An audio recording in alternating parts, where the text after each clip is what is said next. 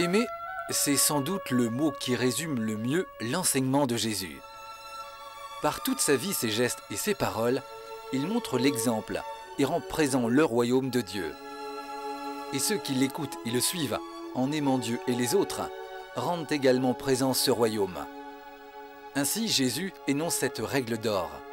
Tout ce que vous voulez que les hommes fassent pour vous, faites-le vous-même pour eux.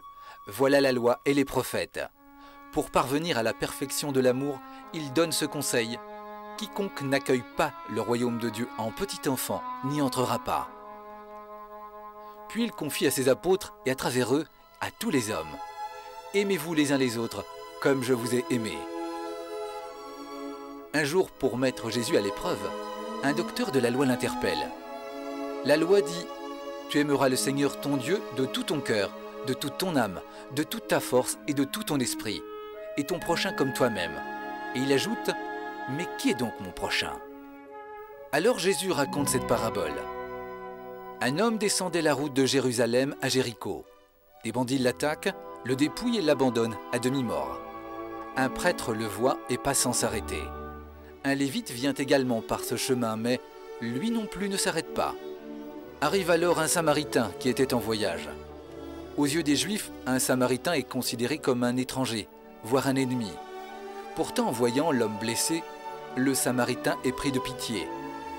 Il s'approche, bande ses plaies, y versant de l'huile et du vin. Il le charge sur sa propre monture, le mène à l'hôtellerie et donne deux pièces d'argent à l'aubergiste en disant ⁇ Prends soin de lui, et ce que tu auras dépensé en plus, je te le rembourserai à mon retour. ⁇ Puis Jésus s'adresse au docteur de la loi. Lequel de ces trois, à ton avis, s'est montré le prochain de l'homme tombé aux mains des brigands? Le docteur de la loi lui répond Le Samaritain, celui qui s'est montré miséricordieux. Et Jésus lui dit Va, et toi aussi, fais de même. Avec cette parabole, Jésus invite à l'amour du prochain, comme de soi-même. Et ce bon samaritain, dans sa perfection, c'est Jésus lui-même. Il enseigne les foules en disant Vous avez appris qu'il a été dit dans la loi ancienne Tu aimeras ton prochain comme toi-même, et tu haïras ton ennemi. Eh bien, moi, je vous le dis Aimez vos ennemis et priez pour ceux qui vous persécutent. Ainsi vous serez parfaits, comme votre Père céleste est parfait. Jésus qui donne ce commandement sait bien ce que sont des ennemis. Il connaît le mépris de certains pharisiens et la trahison de ses proches, Pierre et Judas. Par toute sa vie et jusque sur la croix, il implore le pardon de son Père pour ceux qui le haïssent.